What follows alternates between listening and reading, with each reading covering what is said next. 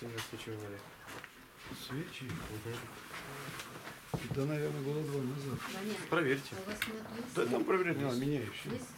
Ну, я еще на ту зиму думал менять его. Поменять, потому что, возможно, из-за этого троит. Да, благодарю. Там много чего менять надо. А еще, а еще лучше машину всю.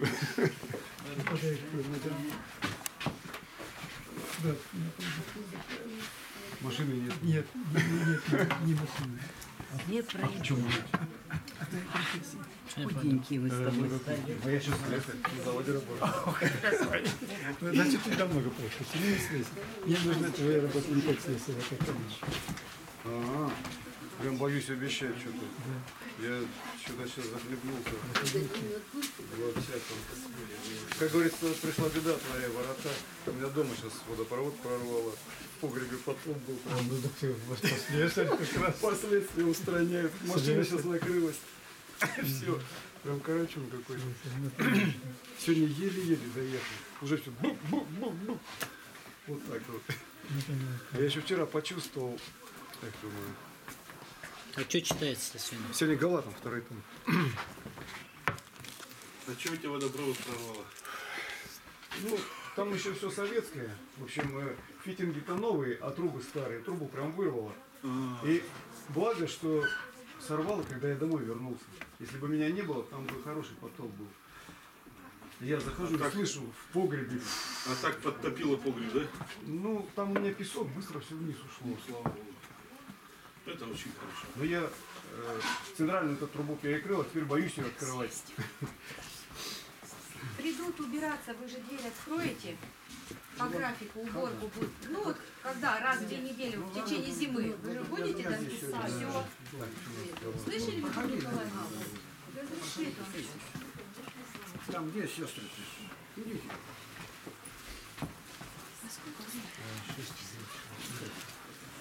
Пестрый.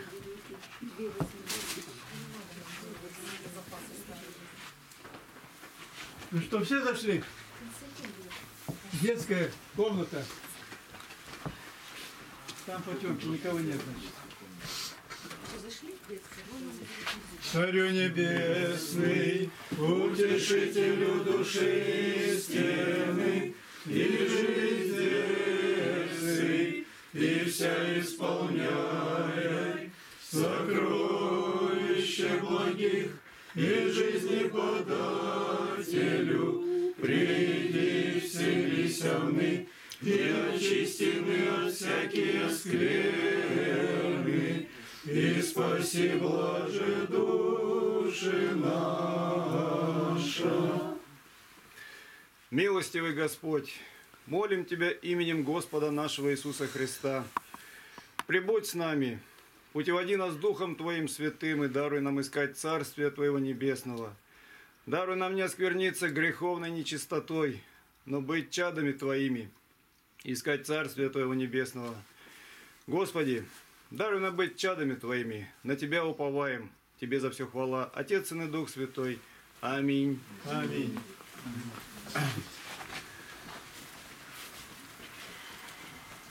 Сегодняшнее чтение.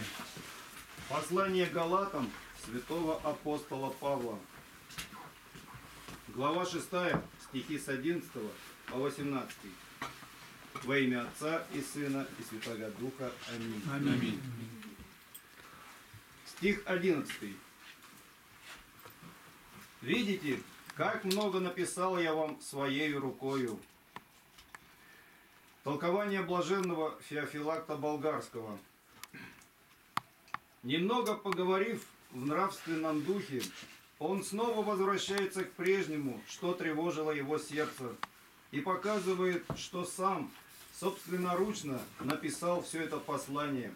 Не для того, чтобы только показать к ним любовь, но чтобы и уничтожить злое подозрение, так как клеветали, что он проповедует одним одно, другим другое. Поэтому он вынужден был дать письменное свидетельство своей проповеди. А прочие послания писали другие. Сам же он подписывал только приветствие. Выражение же «как много» указывает не на обширность, а на некрасивость письма, как бы говоря, хотя я и не умею прекрасно писать, однако принужден был собственноручно написать это послание. Стих 12. Желающие хвалиться по плоти принуждают вас обрезываться только для того, чтобы не быть гонимыми за крест Христов. Толкование. Желающие, говорит, хвалиться по плоти, то есть у людей, именно у иудеев, ибо они порицали их как отступников от отеческих обычаев, принуждают вас обрезываться, оправдываясь пред иудеями через вашу плоть. А словом принуждают показал, что они неохотно переносят его, и вместе с тем дает им побуждение к возвращению, как невольно заблуждающимся. И по другой, говорит, причине они делают это, ибо чтобы не подвергнуться им преследованию и гонению из-за креста и веры, потому что они приступают ее и обрезываются, они желают и другим быть участниками в обрезании. Стих 13. Ибо и сами обрезывающиеся не соблюдают закона, но хотят, чтобы вы обрезывались, дабы похвалиться в вашей плоти. Толкование. Не по человекоугодию только говорит, но и по честолюбию делают это. Ибо не по ревности к закону и не ради благочестия, говорит он, совершают они это, но из-за честолюбия, дабы похвалиться в вашей плоти, то есть чтобы похвалиться обрезанием вашей плоти, так как они якобы ваши учителя и имеют вас учениками. Стих 14. А я не желаю хвалиться, разве только крестом Господа нашего Иисуса Христа, которым для меня мир распят, и я для мира. Толкование. Те, говорит, пусть хвалятся обрезанием, делом отмененным, но для меня да не будет другой похвалы, разве только крестом Господа нашего Иисуса Христа, то есть верой в распятого, который, крест, отменил закон, отвращался от себя как непотребного, призывая даже на это помощь Божию. В чем же состоит похвала о кресте? В том, что для меня, недостойного, был распят Господь, так возлюбивший меня, что предал даже самого себя. Итак, для Павла и для всякого верующего крест служит предметом похвалы, потому что в нем проявляется любовь Господа к нам. И какой раб не хвалится любовью своего господина? Миром называют житейские дела, славу, богатство, удовольствие. Итак, они умерли для меня, и я мерз для них двойное умершление. И они не могут овладеть мной, так как мертвы, и я сам прибегнуть к ним, потому что мертв. Стихи 15 и 16. Ибо во Христе Иисусе ничего не значит ни обрезание, ни необрезание, а новая тварь. Тем, которые поступают по всему правилу, миром и милость и Израилю Божию. Толкование. Не указывай, говорит он мне, на обрезание, которое не имеет никакой силы и бесполезно, как и не обрезание. Ибо Христос все обновил и требует от нас новой жизни.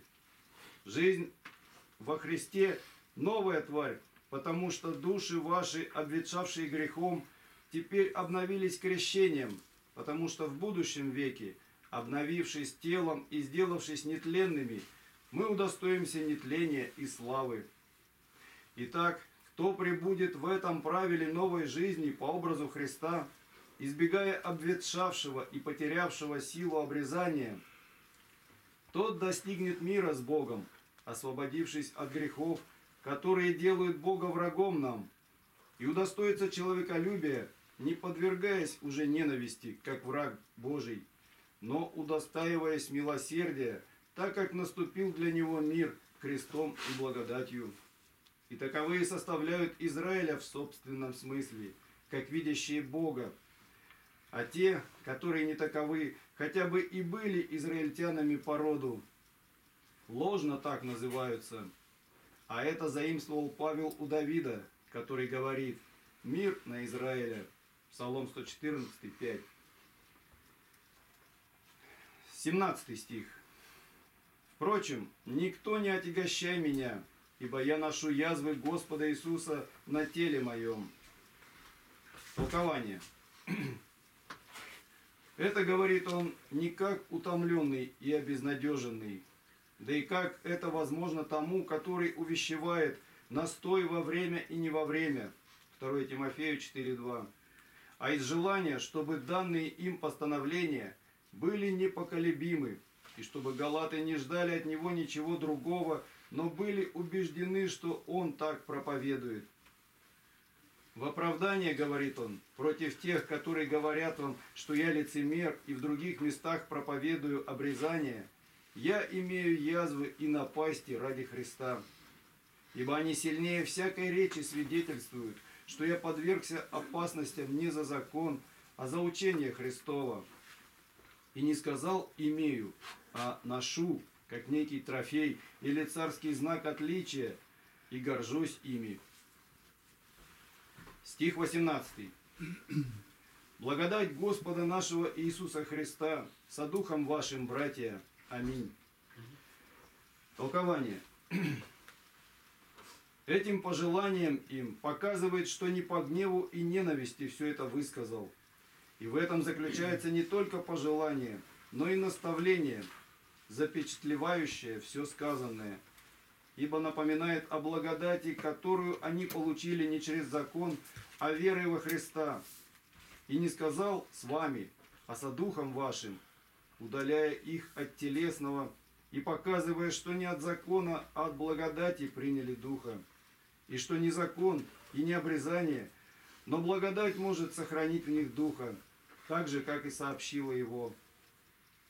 А назвав их братьями, напомнил тем о купели, от которой мы становимся братьями, чадами единого Отца Бога, а не от закона. Да будет же и с нами благодать Божия, так, чтобы нам жить по духу и греховной нечистотой не утратить божественного освящения Утешителя, но всегда приумножать в себе оное во Христе Иисусе, Господе нашим, который явил жизнь новую и духовную, уничтожив ветхую и плотскую. Ему слава во веки. Аминь. Аминь. Ну, как обычно, по порядку о болящих. А еще? Говорите. Людмила Степановна, я по телефону связывалась, она выписалась из больницы, хотела быть, но что-то опять не могла. Людмила Степановна, мы с ней связаны, потому что я ее должен был привести сегодня. Она вчера вечером отзвонилась после службы, сказала, я себя плохо чувствую. Она была на службе вчера? Нет. Я после службы приехала, она мне отзвонилась. Что мы с ней договорились, если все нормально будет, я за ней заеду сегодня утром и привезу ее. Вот, а она позвонила, сказала, что плохо себя чувствует. Ну, молитесь, по-прежнему, значит, о ее Любовь Петровну я тоже навестила. Она сама, ну, как-то сейчас получше. Сильно страдает ее сестра Ольга. Надо молиться о даровании ей веры. Ну, по-моему, у нее дела очень плохие, а веры нет. Помоги, Господи. Ну, еще сами, Анна еще в больнице, ей еще предстоит обследование. Так что молитесь, там еще ситуация осложняется, она еще. Ну, может быть, и выпишут ее, но обследовать ее еще нужно будет.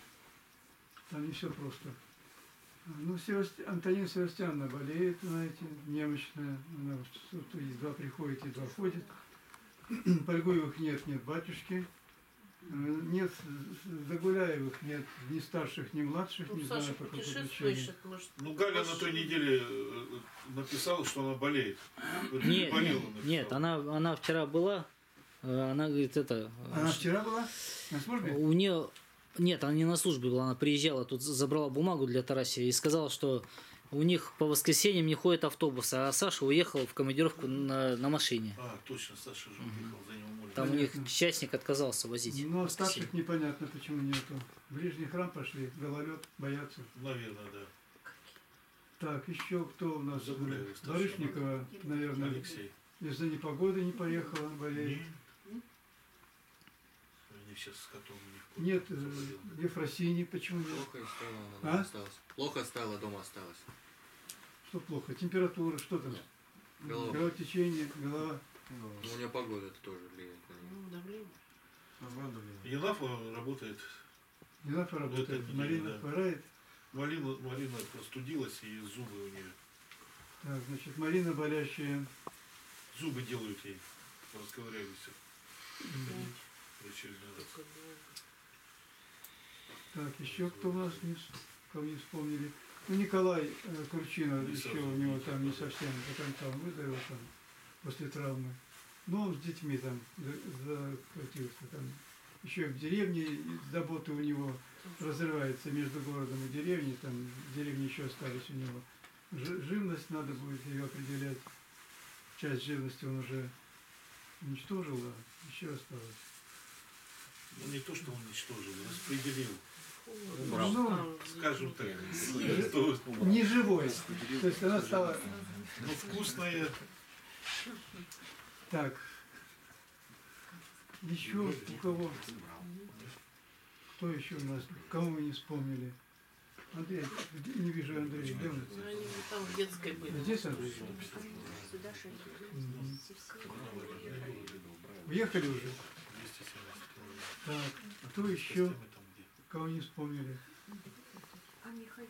Михаил Петрович здесь, слава Богу. Агафья хворает? Да, Агафья. Агафья хворает, вот. Вспомнили Агафью. Вален- Валентину вспоминали? Валентину? Какой Валентину? Валентину Барышникову, да, говорили они. Ну, скорее всего, из-за непогоды и по болезни. Там у них всё в куче. Еще то, что Елена Фаур писала в группе, что вот они просила нам помолиться с Да, они документами, они сейчас поехали Вы с пристани поехали да, туда. по прописке решать вопрос. Вот одно только маленькое дело, ну казалось бы маленькое, но оно не маленькое, подать документы на мужа в миграционную службу, потому что она-то гражданка России, а он-то нет. И вот она писала в воскресенье, что они пойдут в понедельник, в понедельник был выходной день, а назначили на вторник. Во вторник там надо было готовить справку, переводить ее у нотариуса, заверять. В общем, они это подали только в пятницу. Это все, представляете, из-за одного, ну, один поход тянулся неделю, и сейчас еще вопрос, ну, как она сказала, заковыка написала. Еще туда надо съездить в Усть-Пристань. То есть все настолько непросто у нас с этими документами, гражданством, видом на жительство. Но за нее все время нужно молиться вот по всем этим документам. Все сложно. Не на- Надо не забывать, что каждая справка, наверное, сопровождается Еще и-. Да, еще и там какие-то платные, конечно, тот же перевод, тот же нотариус, то, тоже заверить, все же какие-то документы на иностранном. Ну, бюрократическая машина, она такая. да.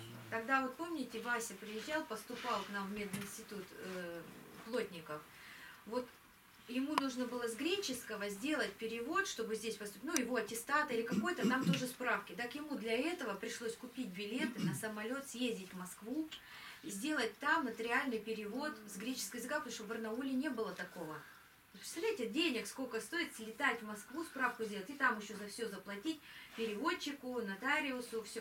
То есть это все настолько, настолько сложно, поэтому вот им сейчас это, может быть, я не знаю, это месяца уйдут, наверное, когда они все-все-все сделают. Дойдут до полюса, до СНИЛСа, до гражданства, а может быть, даже годы вот на гражданство. если- Да на гражданство годы это вот Годы. точно. То есть Мне это надо сначала ему надо на разрешение на временное проживание. Следующий этап вид на жительство. Это все, да, год. Помоги, Господи. Помоги, чтобы он не Господи. разочаровался, чтобы вот э, о том, что переехал такую даль за тысячи километров. Да вы такие и есть, что теперь уже. Пускай привыкает. Ничего, нам нужны такие специалисты, а тем более Скажите, большой это скажите большое. благодарность Господу, что нету коммунизма. Она тоже Так, еще у кого?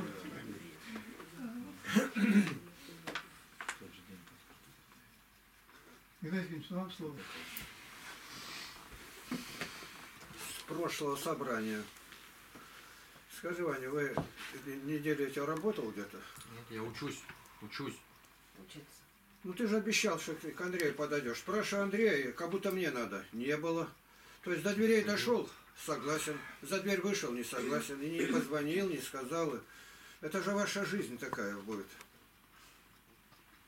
Мне-то уже ничего не надо, Ваня. Ты говоришь, что такая работа не нравится. Никто не заставляет там работать, если другая работа. Но если лето прошло, и на все оговорки шли. Я никогда не забуду, когда у нас картошку копали, мы же не отказывали никогда. Фроси я не вижу, где она? Болеет. Болеет, благослови Господи. Она одна там за два- вас работала. А где Ваня? Вот заболел. Как заболел? Да уборка идет. А какая болезнь? Да у него насморк. Это насмешка же. Это Ваня, я 38 говорю то, что было. И дальше я стараюсь, когда закончили работать, останьтесь здесь. Уже стемнялось, ночь, уставшие. Поедем. Кто повез их? Вот он повез. Я вас удерживал? Удерживал крепко. Нет, все равно поехали. Вы уже ничего не, не будете делать, ничего. Какая опасность. У вас воображение вообще отсутствует. Вот она посидит, это кубик Рубик, она, она ну, там по-другому сделала маленько. Она и крутит и днями. Рося возьмет, книжку считает где-то. Тебя с книжкой скажет, ты не видал никогда. Работать ты можешь. Ну, помнишь, там, когда работал. И даже ни разу не сказали. Я всю неделю, почему не пошел-то? У своих людей работать к Андрею. Вот. Головощу. И там и тебя и продукты будут, и работа там, которые делали женщины всегда. Ну, навоз-то вывести, сено подать, там не бревна поднимать-то. И тоже нет. Я этого вообще не понимаю. Как так? Я хлопочу, договариваюсь, в дверях еще, ну, все, все, все, на улице вышли, все, еду. С Андреем неделю нигде нет опять. Вот кто у нас здесь наблюдатели? Это тоже касается этого. Кто там за ними где-то патронирует их? Тоже надо написать, сказать и проще. А то, я уже слышал, сказали, я не поеду, пока не благословит, ну, называют там человек издалека, где. Было это? Ну, было. Люди не будут на тебя придумывать. Же Они постоянно это говорят. Они постоянно так говорят. Постоянно. Ну, не будем скрывать. У них константа это Его всё. звать как? Что там? Станислав Юрьевич. Зачем Они даже на занятия не выходят поэтому. Идти что на работу, человек далеко, не член общины, он хороший. Я еще раз говорю, я чувствую, что человек хороший, но его благословение, идти на работу или нет, мне это непонятно. Да как так? Раньше было, раньше, вот я переехал в Искитим. Я первый же день, вот в обед я приехал, после обеда я скорее побежал в строительной организации, где меня примут. И что-то задержали. У меня остается только один день. Два дня я не был, уже суд. Меня уже арестовывают и приедут. Ну да. Советская субботу где-то там решили, воскресенье работать, работай. Это я уже захватил. Это 70-е годы. Ты уже неоднократно попал бы под эту молотилку. Мне 14 лет было. Притом это для тебя же стараемся-то. Я уж не знаю, как дальше быть. Я не хочу, чтобы остался разговор без, без, без этого, без последствий. Брат, скажи, что дальше делать? Ну, прошло-то не одна неделя, наверное, больше уже, две недели. Вот, Иваня-то И объясни. опять нигде ничего нет. Хоть рубль в кармане появился. Я сейчас учусь. Это Батюшка, когда, слушай, Он рассказывает все, когда как есть на духу. кончится настройки, свободное время, ну, в 4 сейчас часа заканчивается, сессия. послушай. И тогда на- на- ищут работу где-то, сверх этой, кому-то наняться, дачу делать.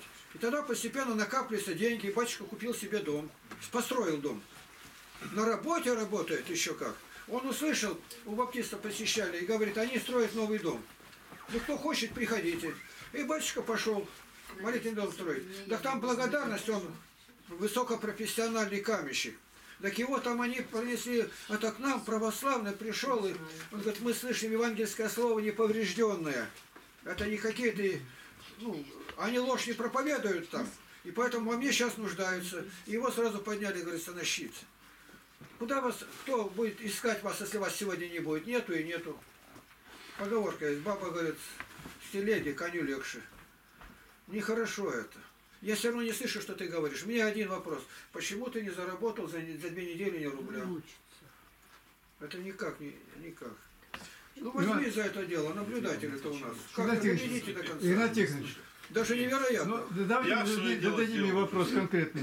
Скажи, пожалуйста, ты учишься в какую смену? Первое. А Первую смену учишься. С, как- с 8 до До двух часов. До двух часов. Но это зависит от пары, потому что могут э, у меня ставить и четыре пары могут поставить, и даже Так, пять ты пар сказал ставить. до двух часов. Два часа заканчиваешь Обычно. учебу. Дальше что ты делаешь?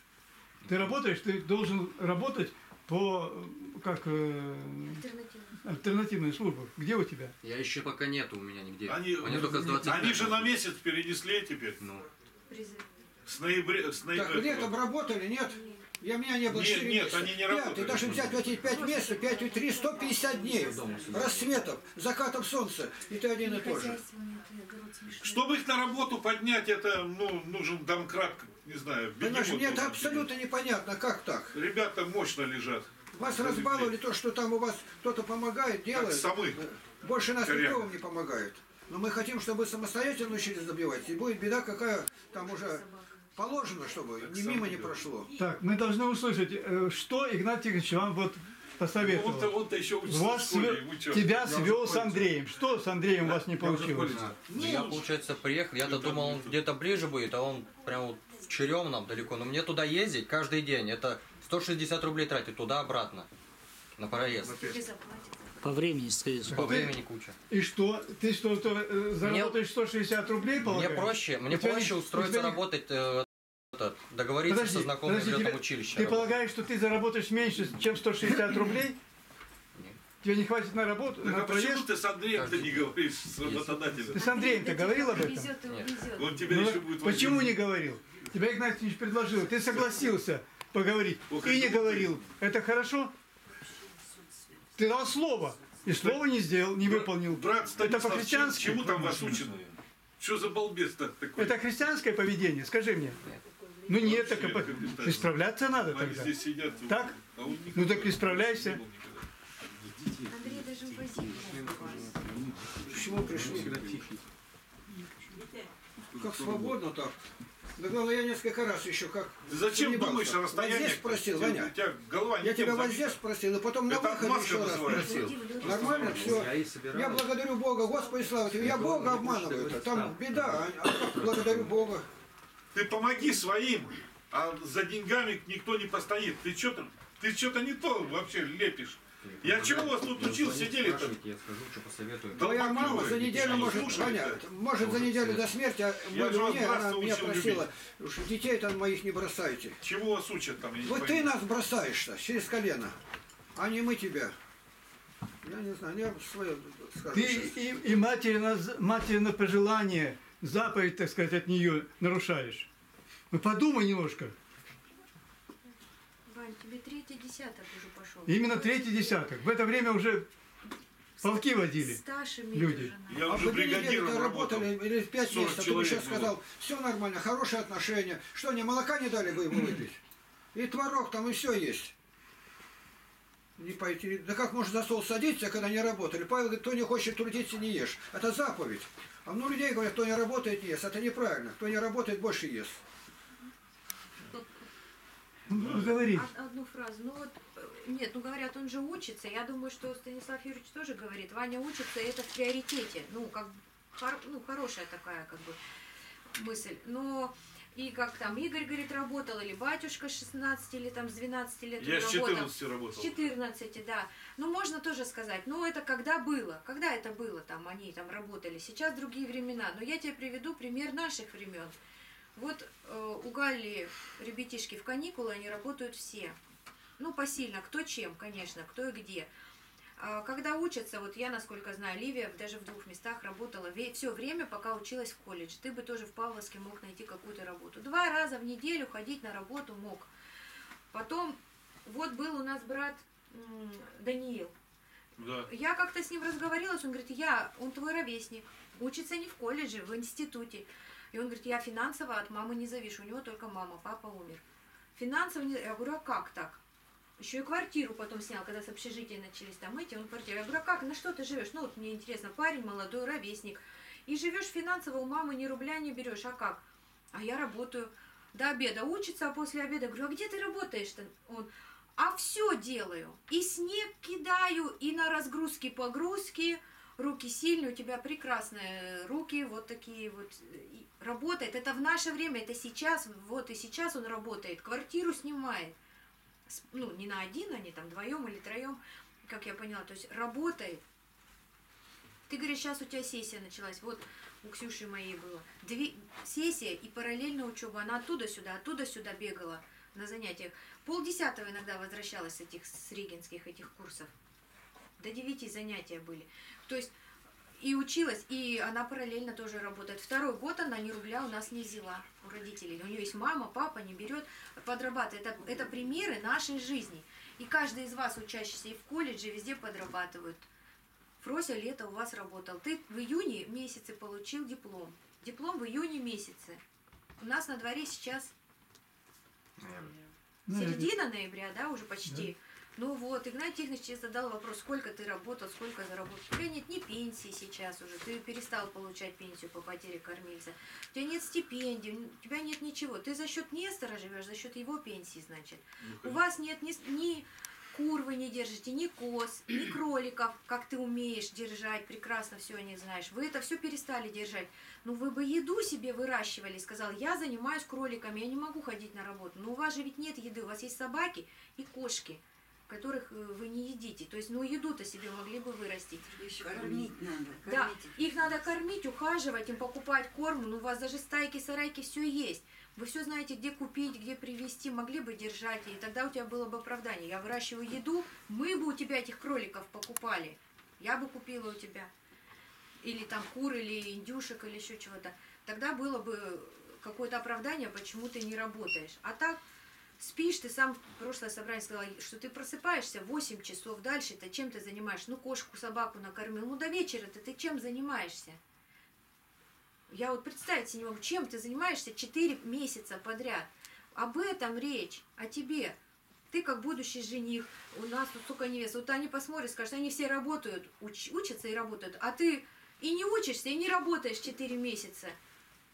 Ну, как, какой ты вот, как ты в перспективе-то для них? Они что увидят? Я еще раз говорю, твоя сестра Фрося все лето работала.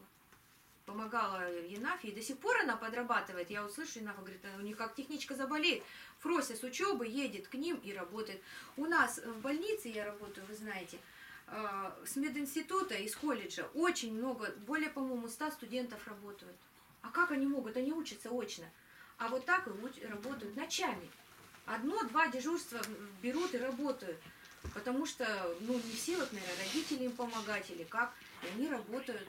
В институте учатся, в колледжах и, и еще плюс работают. То есть Ну я в учеба... институте учился и работал по ночам. Это не, чё, при- это не прикрытие. не знаю, Учеба это не разговор идет. прикрытие. Тем более ты не двоечник, что тебя там отчислят. Ты отличник, у тебя там лучший диплом. хорошо. Ты бы мог себе ну, 5-10 тысяч, это Тяжело вообще бы мог зарабатывать. Многие работают. Я не буду дальше перечислять, кого я знаю. Э, учатся и работают. Еще Нам в институте два месяца давали. Вот я работаю, лето все работаю, ну там нас посылают как на стажерство, на бурение у нас было. И, и- и они не могут без меня обойтись. Они говорят, а мы сейчас не можем. Пускай еще работает. В институт справки посылают. И я еще два месяца у них работаю, как рабочий, все нормально. Приезжаю, денег полно. То есть и это поговорит, то, что человек, когда стипендия. закончит, он точно будет работать, его семья точно не будет голодать. Ну как будущий Еще муж, отец и так далее. Ну, то есть это не оправдание учеба. Сидеть и 4 месяца ни, ничем не заниматься, вообще ничем. Девчонки ну, лет все работали, а ты нет. А, и я только объявление одно можно скажу. У нас просто хочу вот, э, попросить, помолиться. У нас лежит пациент 22 года. И я хочу попросить за него помолиться. Парень, которому повредили обе руки, повредились. Я не спрашивала, у меня язык не повернулся, как именно это произошло, там или производственная мясорубка, или еще что-то. Отсекло. Одну руку вообще собрать было нереально, ее ампутировали при поступлении неделю назад. За вторую борются, там операции бесконечные, и, и, э, из реанимации он даже не может никак выйти. То есть Имя. его зовут, вот еще интересно очень имя, я еще спросила, говорю, откуда у тебя такое имя? Он Еким, 22 года, Еким. Помолитесь за него. Я не знаю подробности, что там, просто мне его очень стало жалко. Я спросила, говорю, ты в Бога веришь? Он, ну, да, вот. ну, как бы что-то есть, я говорю. Есть. И зовут его Иисус Христос. Молись ему, пожалуйста. Иисус Христос, запомни. Ну, он в реанимации же там, он полусонный такой. Не знаю, запомнил он или нет. Я на следующее дежурство подойду к нему. Вот просто жалко, что его только хотели из реанимации, опять вернули. Там все очень серьезно. Операции идут и сосудистого вызывали. Надо спасти ему вторую правую руку. Да. Речь идет. Молодой, 22 года, симпатичный, высокий. Помолитесь. Еким. Еким. Не Я- Аким, а Еким. Хотел напомнить, одно событие у меня было. Июля-август 92 года я в Америке был. Я приезжаю, гляжу, где дружение там, видите, человек на огороде. А кто он такой? Мне говорят, это его отец приехал. А вот подполковник милиции на, на, это, на пенсии. Я батюшку спросил, он одним словом сказал, нехороший человек. А как ты знаешь, разговаривал? Нет, не разговаривал. Я просто посмотрел, он тяпает в огороде. Я сказал, нехороший. Батюшка прозрительный. Я не бе- Потом стало подтверждать, он на нас прокуратуру клепал вот такая пачка. Но никто не обращал внимания, он в таком виде. Дальше-то. Тебе нужно было от батюшки получить документ, чтобы тебя сейчас не загребли. Было? Батюшка никак. Я говорю, батюшка, документ. Я его не вижу, я не знаю, кто он такой. А я-то отвечаю за свою подпись. Кто не знает, я скажу, что в Потеряевке взяли у Андрея, сына, Никиту, и прислали благодарность на бумаге с подписью там начальника. Я всем разослал с печатью на бланке. Где-то день повара. Он заранее послушался, по альтернативной основе сдал в военкомат, а другие двое, которые были еще, там Александр и, ну, и Максим. Игоря Глушкова, Максим-то, и тоже, нет, брат, идите, у вас нету, вы безбородые, сказали мне так. И не стали даже слушать, винтовки в руки. Идите. А ему на кухне такая благодарность, какого сына воспитали, видимо, он работает. Иначе зачем бы они это присылали? Смотри, батюшка упирался как. Он мой брат, моложе меня, поэтому я так и разговариваю уже. Я его убеждаю, здесь вот пришел пораньше, батюшка, ну он такой вот это, ну пусть он хоть как-то покажет себя. Я ж подпись ставлю. А потом с меня спросят, как он тебя, батюшка, знает? А когда, говорит, я его не на исповеди не знаю, говорит, нигде. Ваня, остановись на этом пути. Зачем ты мне говорил, что ты пойдешь с Андреем? Андрей подошел, поговорили. Ты меня несколько раз обманул. Я тебе разве позволял со мной так обращаться? Завтра меня не будет, тебе легче будет. Они съездили туда, они на ферме были. Да подожди ты. Тем более, ты у меня когда был там, шкурили, работал, я тебя не, это, не обидел. Ты тут всем похвалился, сколько тебе дали где-то. Так, тема закрыта. Значит, напиши или как, выйдите на его там патронаж, кто там за ним смотрит. -то. А этот человек, который там есть, он мне все время, мой духовный отец меня, вы столько, я его и ни разу, можно сказать, не встретились, Знаю, он знаю. очень хорошо относится по нашим материалам. Попросите его, чтобы он снял этот запрет на работу. Без его благословения можно работать. но Я все равно не слышу. Может губами не шевелить, я не догадываюсь. У меня сильно бо- большое обострение. Второе ухо, которым слышал, едва слышу. Теперь, я хочу продлить немного сегодня воображение. Вы это записываете? Некоторые ничего не понимают, тянутся патриархию. Это неплохо, что человек будет иметь. Нам никак нельзя. Против меня, люди знают уже, 260 роликов против меня только направлено. Какие угрозы там, а у дверей там стоим, только выйди, ну всякую гадость где-то. Я все принимаю, благодарю Бога. А священника не будет. Я говорил, что делать. Главное, со- общем, батюшки сегодня нет, и мы разговариваем, заботимся. И дальше только молиться будем за упокой, отец Аким знает это. Но наступает пост рождественский. Я говорю, если батюшки нету. Изберите тут храмов 15, наверное, в Барнауле. Найдите, учите, который священник, вовремя рукоположен, не за деньги там ничего не делает. Ну, найти можно. Есть такие люди. И вот и как только пост, причастились, исповедовались. А еще один из вариантов, если милостью Божией местный митрополит будет еще живой здесь, договориться на какой день, своих всех предупредить, он придет, проведет богослужение. Мы никогда не отрицали благодать от Московского патриархии. Никогда. И нам эти советы, что там делали, они нас не касалось. Мы с ними были вместе, дети наши там причащались, и это все было. Епископы приезжали, мы беседовали. Значит, на будущее, это у меня на первом месте завещание вам даю. Сохраните общину. Общины не будет, все остальное, как воробьи, говорят, по помойкам, разлетитесь. Это так говорю. Но нас объединяет общая молитва. Нас знают очень и очень далеко. Из разных стран лю- люди молятся. Через два часа, Господи, благослови общины Христовозвишенскую, Свято-Арпиловскую. Ну, слышала? Потеряевки, которые в городе. Люди нас не знающие. Но люди новые-новые подходят. Два варианта. Идти туда, мы не отрицали ее. И второе, пригласить сюда. Но это надо, чтобы митрополит был тоже. Или с другим можно договориться. Это у меня на первом месте стоит. Сохраните себя. Теперь, на неделе, вот которая впереди еще есть на неделя, будешь работать? Скажи, я пойду работать, два раза меня обманул и проще. У меня ничего такого нет к тебе-то, как к человеку. Ну, ну нельзя так жить. Это Тебе надо когда-то начинать, брат. Когда-то надо начинать, иначе пойдет прахом. У тебя пример хороший под боком. Смотри, как следует, какой будешь. Все. Можно я это Э, В, в интернет-сообществе идет жизнь, и там очень бурная жизнь идет, занятия каждый день. Вот у нас многие не выходят, ну, молодежь хотела, чтобы выходить, но брат э, Станислав, который их курирует, мы с ним не можем договориться. Со Станиславом этим э, Курганским договориться не можем. Я с ним сколько раз говорил, отпусти их на занятия ходить к нам. Он, и мы там сами занимаемся, что-то там занимаемся. Да ты хоть зазанимайся с ними. Они в 6 часов все свободны, чтобы они на наши занятия выходили. Ефросине говорю, позвоню ей, выйдет немножко, раз уже нету опять. Или с телефоном там что-то, или так далее. То есть какое-то то ли лукавство, то ли там бес ходит и кружит по сторонам их, я так предполагаю. То, что там, э, видать, с отцом их там целый легион этих бесов. А люди э, с других мест приходят вот в интернет-сообщество, молодые люди, и, и, ну, всякие дети там и с семьями приходят, и занимаются, и занимаются, вопросы задают, им все интересно, но они далеко очень, очень, тысячи километров до нас.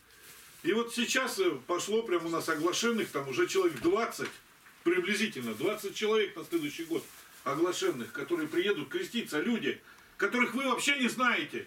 А вы могли бы там с ними беседовать, с этими людьми молодыми и, и так далее. Ну вот э, на моем как бы попечении сейчас один Георгий Байдуков его фамилия. Байдуков. Байдуков такой был очень известный летчик, герой Советского Союза. Полярный. Полярный, тем более, да. Георгий, запомните. Вот. И очень хороший человек, ну до такой степени, вот, ну он похож на Дроботов, братьев. Такой скромный, ну, молчаливый. И так, он сам себя не знает. Золотой парень.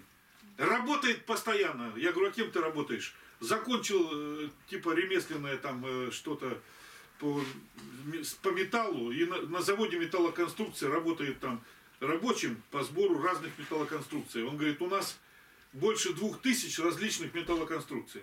И все это надо уметь собирать и так далее, отправлять. Работать, знаете, где так- такой холодильник был раньше? А, нет, нет, это плита, Лысьва называется. Да. Вот он прям в этом городе живет. Я говорю, о, надо же, как интересно. Он такой не очень большой, тысяч на 70. Вообще весь утопающий в зелени, городок такой прекрасный. Ну, сами понимаете, там чуть выше, к северу туда. Недалеко от Москвы, кстати, кстати, не так уж и далеко. Ну, это, вот сейчас вышло «Сердце Пармы» фильм. Это как раз о тех местах. Да. Ну, Пермь, Пермский край. Ну, И он захотел стать оглашенным. 29 лет, ну такое впечатление, как будто ему лет 20, вот, а может даже 16. Я говорю, какой ты... Он не женится, этот. Я, ну, я просто смотрю, он не- женится, он, нет, этот парень. Если ты останется верующим и станет ве- верным, он у него, ну не знаю, может быть, пак- Господь какое-то чудо сотворит. Ему, ему только Христос нужен. Вот постоянно разбираем там с ним, он, давайте еще что-нибудь разберем, ну прям такой прилипучий. Я говорю, ты на всех занятиях же? Ну да, все смотрит. Я говорю, слушай, ну давай. Он говорит, я думал, мы каждый день будем с вами заниматься. Ой-ой-ой, понимаете, вы помолитесь, вот люди такие есть. И еще один выходит, тому тот моего возраста, Иван его звать, Емшанов. Сегодня у него заканчивается эпитемья, и он становится оглашенным. Уже заявление подал и так далее. Сейчас и там месячный, месячное молчание э, в интернет-содружестве за то, что он выскакивал. Ну, такой, выскак, типа я. Ну, только, э, ну, в общем, не совсем такой. И заканчивается у него месячный. И вот теперь ну, нач- начнем с ним оглашение. Как с ним оглашение вести? Он все знает. Больше, чем я даже, наверное. Ну, посмотрим. То есть вот двое, э, значит, э, у меня, я поручитель у двоих оглашенных. И хорошие люди вообще, такие интересные. Вот. Я как представлю их всех воображением, что они здесь, здесь с нами. Это вообще другая жизнь была бы. Вот такие люди. Огненные есть, прям горящие там, ну далеко горят. Ну, видать, нужно. Знаете, как показывают восстание там рабов и показывают, ну там Спартака, допустим, и там где-то Капы, где вот они восстали, там такое огромное пламя горит. А потом, а в других городках там поменьше пламешки. Ну, везде все охвачено как бы. И у нас то же самое. Штаб-квартира Барнаул, тут у нас горит Игнат Тихонович. Ну, вот так вот, пока, слава Господи, горит что-то. Но у нас опять же проповеди нету никакой, не проповедуем. А кто-то был бы, вот хотя бы из них открылся, из молодых братьев-то вот там, сюда бы пришел, уже бы что-то бы закипело. А, Или молодежь наша бы раскрылась. Но они, видите, ну, как сфинксы. А сфинксы никуда не ходят, на них ходят смотреть. Надо, чтобы не сфинкс был, а прыгучий гепард какой-то. Но нету такого. Одного подрезал был у нас, подрезала жизнь. Ну, как бы отпрыгался. Спаси А Христос. что с Георгием, Слава Христу. должны были призвать-то? На декабре А, Георг-. Георг- А у него дик- он, он- ему отдали отсрочку два месяца А. с тем, чтобы он согласился быть наводчиком в, на в орудии. У него, видать, э, так я понимаю, артиллерийская какая-то подготовка. Я- ну, что бы он, он наводчиком? Военно-специальная такая. Да, если у него он был действительно на орудии, наводчиком, это очень, очень сейчас востребовано. востребовано. Ну, потому что это у меня такой же вуз, тоже артиллерия. Меня бы тоже забрали, если бы я не был калекой. Достойно есть всякого истину, блажите Тя, Богородицу, пресноблаженную и непорочную, и Матерь Бога нашего, честнейшую Херувим, и славнейшую без сравнения Серафим, без истления Бога Слова родшую, сущую Богородицу Тя величаем. Господи, защити Родину нашу от нашествия иноплеменников, от внутренних расприй, от беззакония, которое в тайне. Останови делающих зло. Просвети правителей страны нашей, чтобы принимали мудрые законы, и всех начальствующих также просвети и защити. Людей, не познавших Тебя, обрати к истине, чтобы божественная любовь Твоя коснулась каждого сердца. Священники, которые не служат тебе как должно, пусть покаются в небрежении своем и проповедуют смело и инославным об Иисусе Христе. Господи, праведны суды Твои над Россией за то, что оставили Тебя и Слово Твое, изреченное в Святой Библии. Прости нас, Господи, Владыка жизни, что сокрыли имя Твое Бог и Иегова, Дух Святой да наставит нас не признавать никаких иных богов, вопия Авва Отче.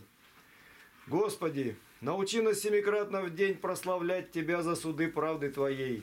Тебе хвала, слава, честь и поклонение Пресвятая Троица, Отец, Сын и Святой Дух. Аминь. Господи, прими нашу молитву воздяния рук, как жертву вечернюю, благоухание приятное перед престолом благодати Твоей, Боже. Соедини нашу молитву с молитвой всех святых, молящихся Тебе на небе и на земле. Ты всемогущий Создатель. Ты сотворил этот мир и сохраняешь его как зиждитель.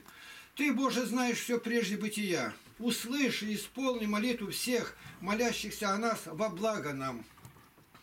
Любящий наш Отец Небесный, ради голговских страданий и пролитой крови Сына Твоего Единородного Иисуса Христа за нас грешных, Прими и исполни нашу молитву о всех заповедавших нам, молиться о них, спаси их и помилуй.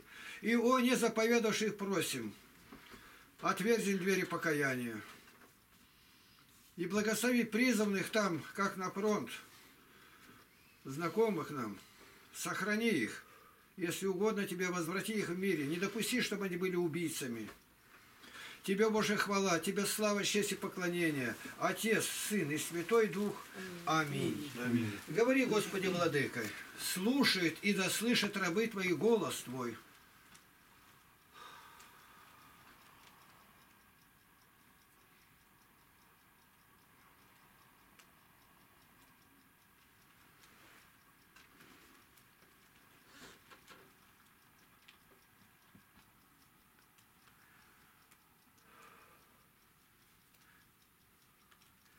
Аминь. Аминь. С миром Божьим. Спасибо. Брат, ну ты совсем откровенный. Не-не-не, я не отказываюсь. Вот мне просто У меня есть тапочки.